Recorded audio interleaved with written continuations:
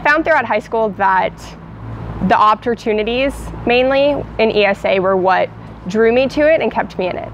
Um, I was offered things that other students weren't, and I was given the chance to do things that really kind of shaped where I went in college and what I did in college, and then translated into you know the things that I was able to do in college because I had that confidence to speak to professionals, to make a resume, to go to a job fair.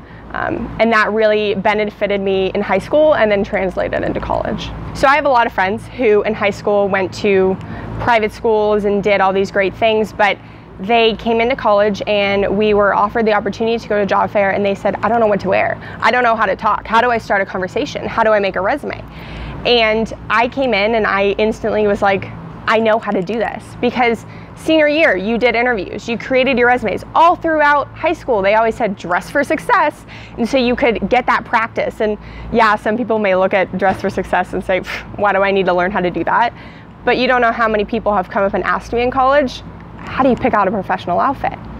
So it's really those opportunities and they, and they shine in college and they give me the chance to walk into a situation and be comfortable talking to the president of Cal Poly and being able to sit down with the dean of students and have a conversation. So that's really, it's really important to have those opportunities and those skills going into college. The biggest adjustment for me was obviously the academics. Um, going to Cal Poly, your expectations going to college in general, your expectations are insanely higher. Um, and your workload is also higher. Even though you may only be taking two hours of class a day, you're still expected to study for seven more hours that day.